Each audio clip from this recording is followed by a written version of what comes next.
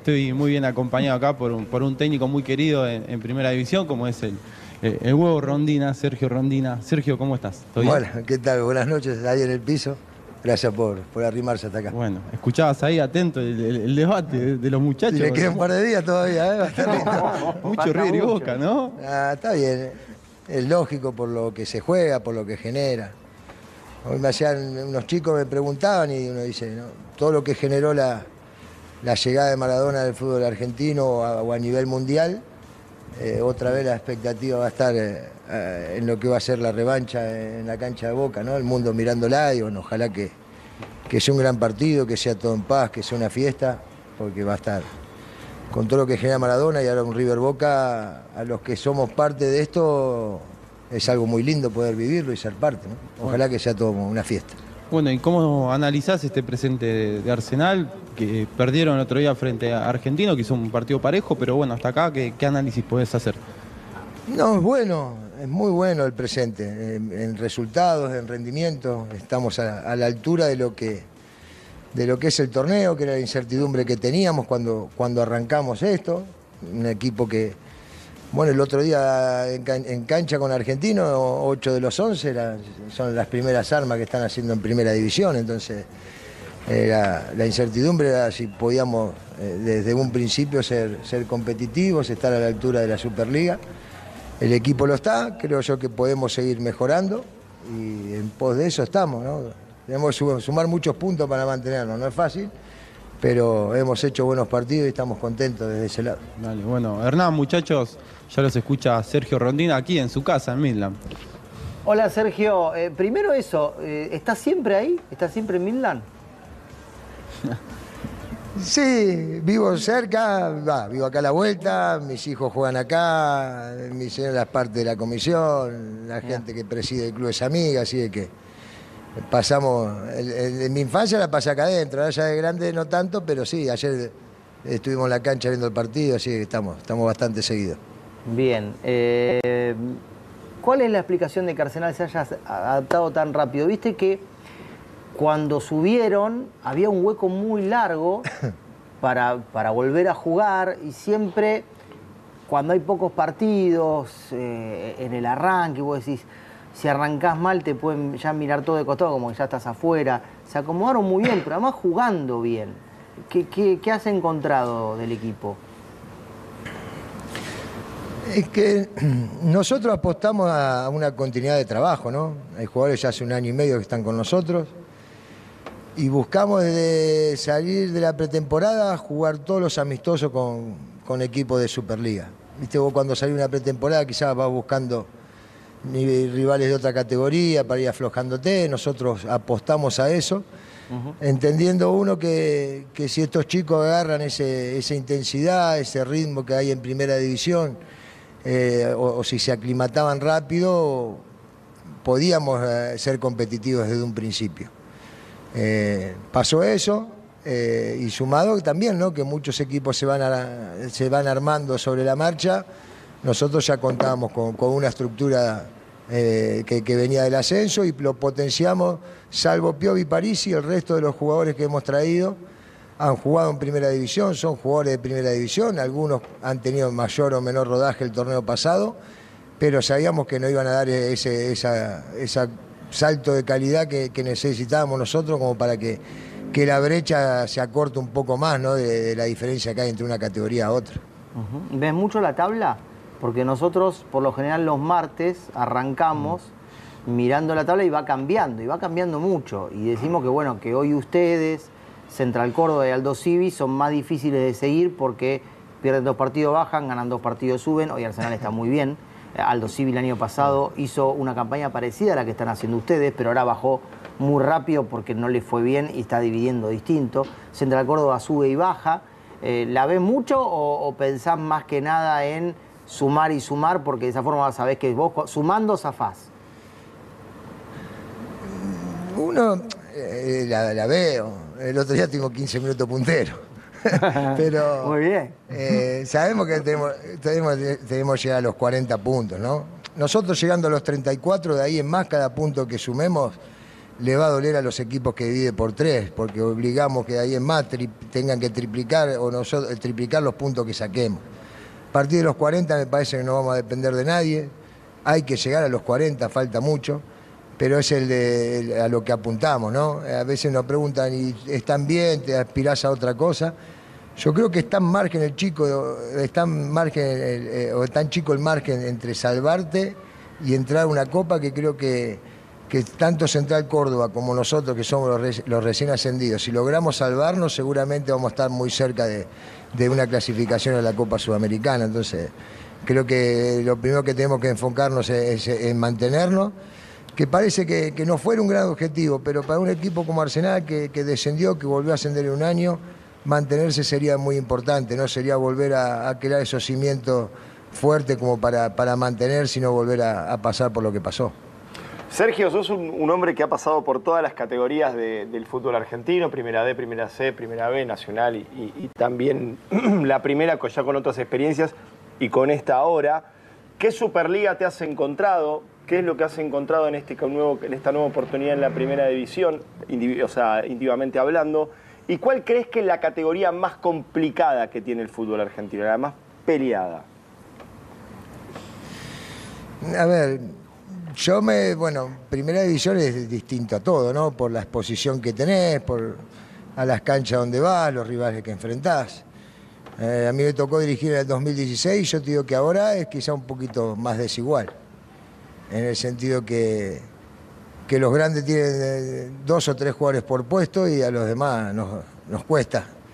Eh, después, lo que tiene de lindo el fútbol y lo que es el fútbol argentino, los partidos salen parejos pero en campeonatos largos eh, yo creo que va a ser difícil que un equipo chico o mediano eh, pueda campeonar, como pasaba antes con los torneos cortos. Y después, ahora, bueno, con el tema de la... Sí. No, no, no, dale, dale, dale, termina, termina.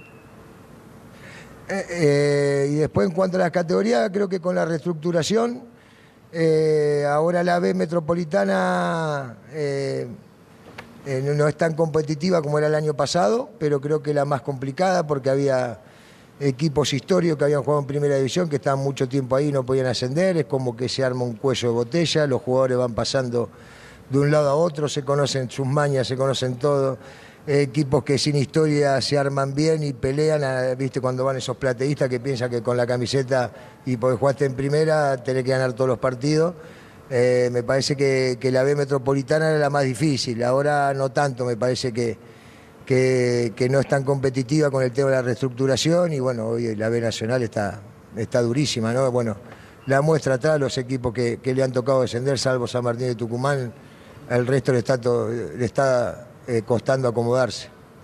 Cuando pensás en esos 40 puntos que necesita Arsenal, ¿Cómo te los imaginás? ¿Se puede planificar? Es muy difícil, ¿no? Porque lo dijiste bien, es muy parejo. A este equipo grande de local le empatamos y de visitante a aquel le ganamos y este equipo denominado chico eh, de casa no podemos perder y acá sumamos tres y allá uno.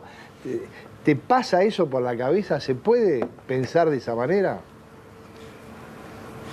Nosotros sabemos que hay equipos que podemos competir de, igual a igual.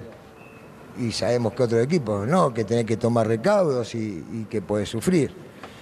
Pero bueno, estamos por, por mantener una, idea eh, de, juego y, se la transmitimos a los chicos y tratamos de hacerlo en todos los partidos que venimos jugando de la misma manera. Nosotros fuimos a jugar a cancha Racing como fuimos a jugar a defensa o fuimos a jugar a Godoy Cruz, sabiendo que los riesgos que tomábamos, ¿no? De ir a jugar a la, casa del, campeón, pero también sabíamos que habíamos entrenado y esperarlo atrás y recuperamos y tenía el arco a, 70 metros. Digo, ¿cómo llego? No lo lastimo nunca.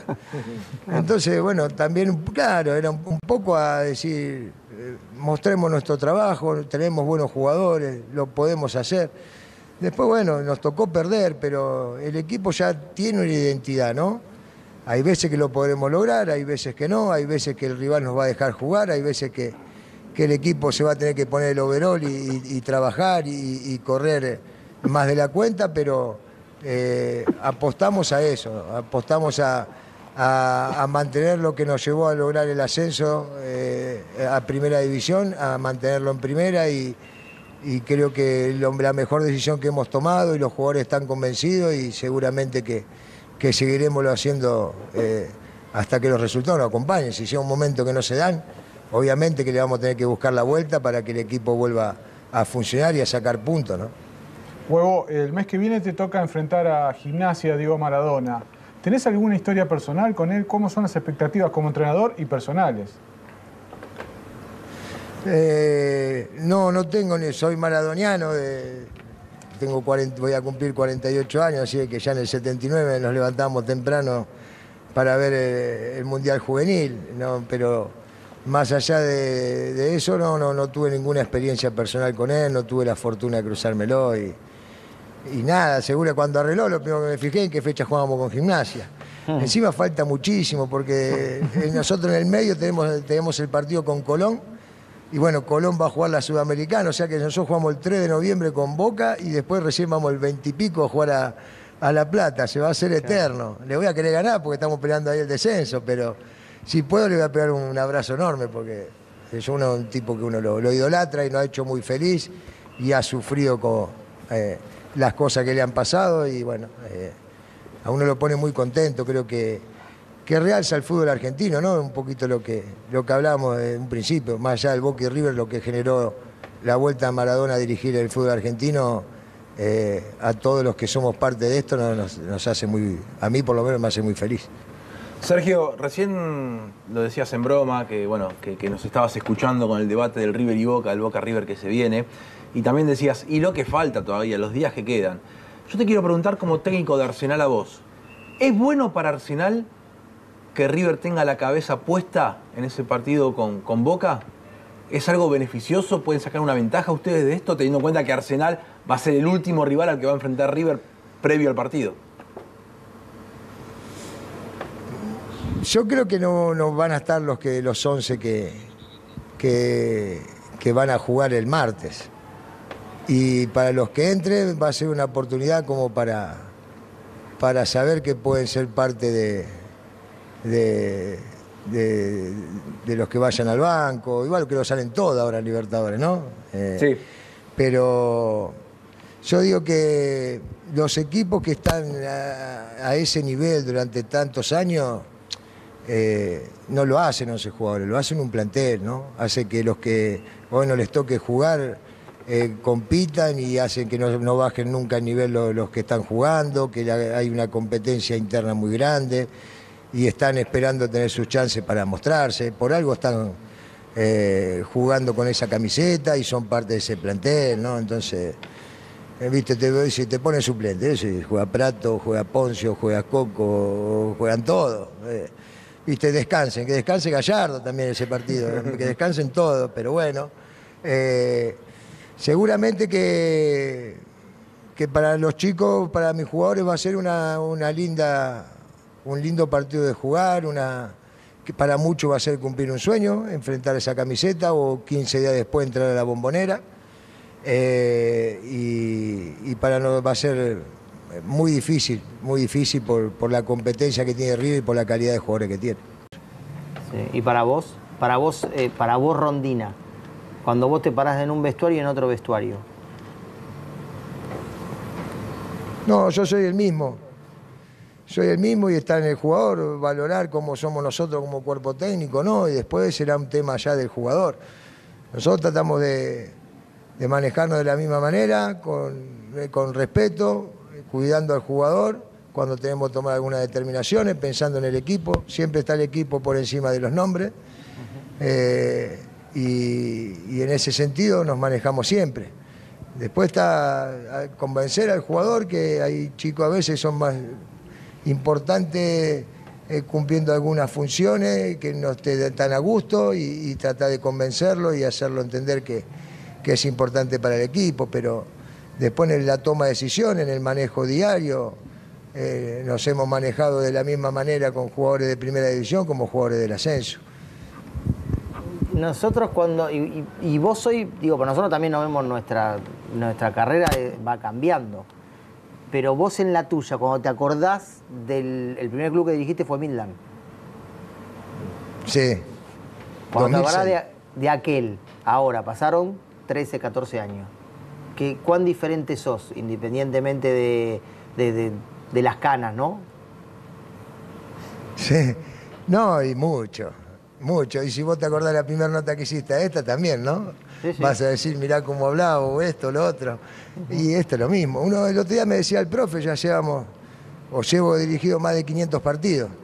Así que, obviamente que hay, que hay muchos cambios, que hay situaciones que, que uno la ha vivido y las maneja de otra manera. Eh, trato de sí, de, de- eh, de disfrutarlo el día a día. Eh, eh, lo disfruto como el primer día que, que arranqué. Delego más que antes. Mirá. quizá por una cuestión de necesidad. Antes tenía que. Y, y- y no estaban, viste, que ahora están las transmisiones partidarias, todo, antes no existía. claro. Entonces, para ir a conocer un equipo de la D o de la C, tenía que repartirte, capaz que iba a tres partidos ese fin de semana y, y el, y el que me tocaba dirigir a mí, para ir conociendo a los rivales. Hoy tenés un éramos tres, hoy tengo un cuerpo, hoy tengo una mini pyme, somos nueve en el cuerpo técnico. Entonces, a- a- aprendés, a, aprendés a delegar, aprendés a delegar. eh, es la realidad, que uno mira lo que tiene que mirar y después, bueno, confío mucho en la gente que está al lado mío también y, y- y uno lo va aprendiendo también con, con los años, de también de, de ver crecer a mis hijos y disfrutarlo, porque pasan rápido y crecen rápido, entonces una vez esto es, es una vorágine y no te das cuenta y, y dejás de lado un montón de cosas que, que son lo que después están al lado, ¿no? En las buenas y en las malas. Claro. Pero hay que ahora en la etapa de crecimiento uno quiere acompañarlo y estar cerca de ellos, entonces también uno aprendió a delegar un montón de cosas sin de quitarle responsabilidad al trabajo, ¿no? Escúchame, ¿por qué son nueve? ¿Por qué necesitas ocho más? A ver. No, y porque sí, porque tenés que, estar en todos los detalles. Y yo te digo a ver el cuerpo técnico, porque si vos te pones a pensar, también está la parte de kinesiología, de, utilería, de todo, que, que no dependen de uno, pero sí uno toma decisiones y de acuerdo a, lo que uno pide, también esa gente está, está para- a la orden de uno. Pero sí después yo tengo, a ver, tengo dos, el profe general, que es Javier Carnero, Nacho, que está en el tema de gimnasio, y tengo, bueno, al, al novio de mi sobrina que está estudiando y también le damos una mano y está estudiando para profe y lo metimos. Muy bien, muy bien. Después tengo eh, Luciano Castillo, que es una de las partes de analista de video, que la parte trabaja la parte defensiva, Pepe Moreno la parte de volante, Facundo Gareca, que es mi mano derecha con el tema de, de delantero, está Cristian Galván, que se sumó también para hacer una parte de, análisis eh, en, en tiempo real lo- los días de partido de nosotros para, para Ah, cortar y mirá. tener las imágenes cuanto antes para poder mostrarla. Entonces, Mirá si te decían eh, en Milán que ibas a tener No, en tiempo real un analista, ¿no? ¿Qué le decías? Pero tómatela. No, no, y sí, pero bueno, te, te obliga, la, la situación te va obligando, la situación te va haciendo que, que, que todas estas cosas vos la, la pongas a- al servicio del equipo. Claro, claro. Eh, y después está bien, yo escucho la- eh, lo de, una vez lo escuchaba a Gorosito hablar, ¿no? Es decir, no necesito que un dron, eh, si le están ganando la espalda al 4 y, y- y es verdad. Pero yo sé que Gorosito también lo usa para ver un montón de otras cosas, no solamente Claro, te claro. sirve para eso, ¿no? Sí, sí, sí. Eh, te sirve para un montón de cosas. Y la tecnología también es para el jugador. Cuando vos estás filmando hasta un entrenamiento, ya para el jugador es distinto. Ya no Mirá. tiene la mano en la cintura y ya tiene que correr porque te dice algo. Mirá, acá tenés la demás. Acá te vi. Mirá cómo hiciste este ejercicio, mirá cómo hiciste este entrenamiento. Y claro, la competencia también hace que, que el jugador no, no se relaje y, y esté siempre entrenando al, al 100%, ¿no? Eh, eh, pero te obliga, eh, te, te va obligando, esto va creciendo tanto que te va obligando. Hoy la Superliga te manda un informe de los últimos cinco partidos del rival, una cosa de Sí, loco. sí, sí, sí, Eh, claro. Ya te va. ¿viste? sirve- Bueno, a nosotros también nos sirve, eh, pero a nosotros también lo mandan y está buenísimo. Está bueno porque vas siguiendo algunas cosas Claro, y ya bueno. con algún detalle que quizás no tenías tan en la cabeza. Me imagino ustedes. Sí, tal cual, tal cual. Pero vos también, vos imaginate que una vez, por eso te decía de delegar, vos tenés que estar pensando en armar el 11 en esto y te llegan esos datos y tenés que leer los datos y nada, te enfermás. Es Sergio- imposible, por eso tenés que tener gente ahí para de confianza que te dé una mano. Sí. Sergio, me, me agarro de dos respuestas que, que diste en esta entrevista muy rica que estás, estamos hablando de fútbol. eh, me es inevitable porque al principio del programa debatíamos sobre Boca, sobre Alfaro, si puede cambiar, ¿no? Y vos dijiste que Arsenal está preparado para ir a jugar de la misma manera en todas las canchas. Fueron a jugar a la cancha de Racing como lo hacen habitualmente y como lo vienen ensayando. ¿Se puede cambiar el ADN de un equipo en corto tiempo para hacer algo distinto o es inevitable que la idea del entrenador ya esté impregnada? No, no, depende de las características de los jugadores que tenés. Eh, es la realidad. Nosotros tenemos, apostamos a esto de un año y medio de trabajo y quizá podemos ir a jugar a una cancha con los mismos 11 jugadores que jugamos local, quizá variando alguna posición, pero sí ya tenemos bien en claro un montón de situaciones de juego o lo que pretendemos. Después, sí, el ADN lo tenés, pero bueno, depende también, eh, no son todos los jugadores de la misma característica, ¿no? Y son equipos que tienen muchas variantes dentro del plantel y con jugadores de distintas características que te pueden dar otra impronta. Sergio, No, eh, no escasean los jugadores de esos equipos. Claro. No, no, no, claro, claro, pero a lo que voy es a que, por ejemplo, vamos a suponer, si la, si la matriz de Boca, eh, el equipo de Alfaro es quizás ser más eh, defensivo. Sí, te entiendo. ¿Vos, vos creés, que, creés que en 15 días se puede cambiar las piezas para transformarlo en algo completamente ofensivo o no? ¿O la esencia del equipo no se puede cambiar tanto? Sí, pero puede, puede, puede ser más combativo jugando 25 30 metros más adelante. Claro.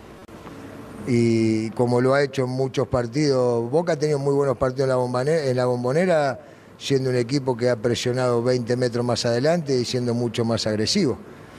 Eh, también puede depender de eso, no que te salga jugando todos los tiros, que te dé la vuelta, pero sí te puede ser mucho más protagonista jugando 20, 30 metros más adelante.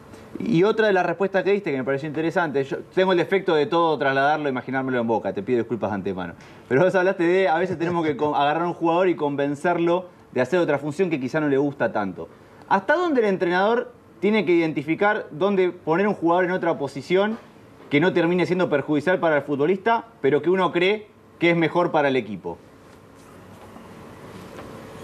Cuando sabés que no tenés otro para que la haga. Cuando vos no tenés otro en el plantel que pueda cumplir esa función y necesitas de ese jugador, lo tenés que hacer. Eh, me parece que pasa por ese lado, ¿no? Por, esa, por esa necesidad. Eh, después, uno lo que decía más que nada es, a veces que hay jugadores que son más importantes entrando del banco por cómo se adaptan al juego, por la lectura de juego que hacen. Eh, eh, y porque son capaces de cambiar el rumbo de un partido, sea cual sea el resultado, ¿no? Y hay otros que les cuesta más entrar desde el banco. Entonces está en uno también saber hacerlo sentir importante ese jugador número 12, que digámosle, Sí, sí. que sabes que en cualquier momento del partido te puede entrar y, y te, y te da soluciones. No es fácil encontrarlo. Y no es fácil que el jugador, a veces vos decís, el jugador entra, uno ha sido jugador y te ha tocado ir al banco y si entraste y, y anduviste bien y pudiste capaz, no sé, hiciste una jugada de gol o hiciste algo, y decís, bueno, al otro partido juego y otra vez al banco. Claro. Y otra vez al banco. Y entonces está en el entrenador de hacerlo sentir tan o más importante lo que están entrando, porque ese jugador le aporta soluciones al equipo, ¿no? En- eh, eh, eh, saliendo del banco de relevo. Eh, pero bueno, pasa también por el convencimiento del, de- de- de- del jugador de hacerlo sentir importante y, el- y explicarle el porqué de, le está tocando en ese momento esa función. ¿Cuánto tiene que ver o cuánto se puede sostener una idea sin resultados? Porque evidentemente lo que le está pasando hoy al Faro es que su idea parece no haber convencido en Boca como sí convenció en Arsenal y en estos 15 días alguna cosa va a tener que cambiar y no ser él. Y lo que pasa es que, bueno, es, pero es un mundo hay de diferencia entre un club a otro y otras, otro tipo de obligaciones. Eh, yo creo que cada uno, él tiene una idea de, juego, una idea de un sistema que, que- lo ha llevado a dirigir tanto tiempo y lo ha llevado a dirigir a Boca. Entonces, yo creo que él hay cosas que no, no las va a negociar y va a seguir apostando a lo mismo que lo ha llevado a hacer la carrera que ha hecho y tan exitosa. Pero volvemos un poco a lo mismo, ¿no? Cambiará la- el posicionamiento de Boca eh, en, en donde se pare. Si para 20, 30 metros más adelante y un equipo que es agresivo y que corre y que te presiona, seguramente que, que va a ser un partido muy distinto al, de, al que fue en el Monumental, donde le cedió la iniciativa a River. Sergio, eh, Yo perdón. creo que debe pasar un montón de facetas en la cabeza de, de- de él y analizará y creo que es un técnico sumamente inteligente como para que el día de la final eh, o hará todo lo posible como para dar vuelta a esta historia. El otro día nos visitó Ariel Holland y hablaba de que se había encontrado con, Guardiola, con, Pochettino y que él comulgaba mucho con esa idea, eh, lo tiene bien definido. Yo le doy a Rondina la posibilidad en un café, hay cuatro sillas, una la ocupás vos, ¿con qué tres entrenadores de todo el planeta fútbol te sentarías o te gustaría sentarte a charlar sobre fútbol y que aparte coincidas con esa idea, ¿no? Ah, a mí me gustaría juntarme con el Chacho, con Heinze y, y sí, Gallardo también. Ah, Pero Me fácil. gustaría, de Sí, verdad, eso, no, eso, lo no, organizamos de nosotros. Lo armamos nosotros, lo armamos nosotros eso. Llévalo al Diego para hacer una mesa más El picante. Claro. Truco de seis, lo Y ponemos Diego. me dijiste y Diego, y Diego. Sí. Diego, seguro. ¿Cuán- Seguro ¿Cuánto que te sí, gusta el seguro fútbol? que sí. ¿Cuánto te gusta el fútbol? ¿Cuánto me Fútbol. gusta? Sí, del Eh. 1 al 10. Mucho, mucho. Muy, no, 10. 10. Por esto que decías, de- y te has perdido muchas cosas, que por recién yo me quedé con la familia, que te perdés cosas, que te, te has perdido muchas cosas por estar tan metido en el fútbol. Sí, eh, tuve la suerte de ver el nacimiento de mis dos hijos, tuve. Pero uno porque el más chiquito fue un 24 de marzo, fue el primer día de- que se declaró el Día de la Memoria. Sí. Eh, entonces fue feriado y, pude concurrir. Buena puntería metiste. Y el otro bien. tiene un poquito más. ¿Eh? Buena puntería metiste bien. Sí. Y el otro, escuchá cómo es el, el- el fútbol, ¿no? Estaban colegiales y me quedaban seis meses de contrato y bueno, que hubo un gerenciamiento. re- el día que rescindí contrato nací el más grande, así que estaba sin trabajo. Re- nació mi hijo y me quedé sin trabajo ese día. Las cosas de fútbol. Pero Sí, después sí, actos de colegio, miles, me los pierdo todos. Eh, porque son a la mañana y uno trabaja, entonces es muy difícil estar y eh, algún cumpleaños también por estar en una concentración o viajar. Eh, pero bueno, son, uno lo hace para ello. Está más que claro. Y recién. Uno lo eh, hace para ello. Hablábamos entre nosotros y acá hay un hincha de Arsenal en este momento, de verdad. De verdad hay un hincha de Arsenal. ¿Por qué lo decís así? Como No, porque una rareza. puede- y no hay tantos. No hay tantos, en el claro. estudio hay un hincha de Arsenal que nos contaba algunas acciones que hacen con Arsenal Solidario y, y que te has prendido y mucho a eso. ¿Por qué lo haces? Porque es lindo ayudar a la gente que ayuda, que se desinteresadamente, que, que va a lugares que, que donde hay gente que realmente la pasa mal o necesita, ¿no? De- sea lo que sea, de, de ir a una escuelita de la costa ahí en Sarandí, donde hay chicos que, que quizás van a la escuela para poder comer al, al mediodía, tener un plato de comida, una merienda, o ir al Garrahan a llevar unas batas donde hay nenes que están internados en un pabellón esperando que los vayan a adoptar o con algún problema de salud y esas cosas. ¿Cómo no te va a dar ganas de ayudar a esa gente que, que ayuda desinteresadamente y que, que da una mano? Entonces uno trata de, de- de darle una mano en, ese sentido y si no nos cuesta nada. Obviamente sí, hay veces que, que- que- los tiempos son cortos, ¿no? Pero bueno, cuando se te viene esa imagen a la cabeza hay que hacerse lugar para poder, cu- a poder ayudar. Muy bien, y para dar fe que no estaba preparada la pregunta, Sebastián de Estefanis es el, el hombre de la grúa, acá de la grúa, por nosotros Ah, el pero flaco Seba. Sí, Sebastián está y, y, le da una mano grande a Alejandro Garro, que es el que maneja el departamento de, de Arce Solidario. Así que un saludo grande para Seba. Muy bien, Eh, nos vamos con esta. Sí, gracias Sergio. Ahí Cristian cierra la nota y abrazo grande, ¿eh? un placer de verdad charlar con vos. Bueno, otro para ustedes, gracias a los tres. Sabes, Hernán, que, que en un par de fechas visita Boca, la primera vez que va a estar eh, como entrenador Sergio en, en la cancha de Boca, el día de su cumpleaños y, y va a ser el primer partido después de- del Superclásico por Copa. O es una fiesta o eso se prende fuego. No, no, no, drástico fue, Ah, no, drástico. a ver, va a estar picante, digo. ¿Es una fiesta o? A ver, de un lado o del otro, a ver, muchachos. No, yo lo voy a. Para mí va así, el, es el 3 de noviembre, el día de mi cumpleaños, y como técnico va a ser la primera vez que me toca enfrentar a, a Boca. Con River va a ser la quinta ya. Mirá. Pero me ha pasado Copa Argentina y estar en, en- en- en la zona esa cuando nos enfrentamos. Con Boca no es el único grande que no, no he enfrentado. Y en la bombonera he ido a jugar dos, uno como jugador, un amistoso cuando, cuando jugaba en Chacarita y, y otra cuando dirigía Los Andes, un amistoso, pero con gente la primera vez. ¿Vas a meter ¿Los una pincha bien? especial ahí? ¿Bien? Que- el sábado con River, 8 de la noche y con Boca seguramente chivo, la gente de chivo Lord que vale. Boutique. Ahí está. ¿Sabes que nunca repetí, nunca, nu- nunca Nunca repetiste repetís. un traje, un saco, verdad? eh, algo, algo. Yo, no, creo que saco no. Después, obviamente, hay combinaciones que, que sí, pantalón o zapato, pero seguramente me va a preparar algo, olvídate, olvídate, ¿sabes qué? Y con River el sábado a las 8 de la noche, Prime time, eh, muy bien. ideal me parece. Ya el otro domingo 11 de la mañana ya va a ser más, más informal. Está bien, está muy bien. gracias, gracias, Sergio. Sergio. Abrazo grande. Gracias por, gracias por acercarse hasta acá. ¿eh?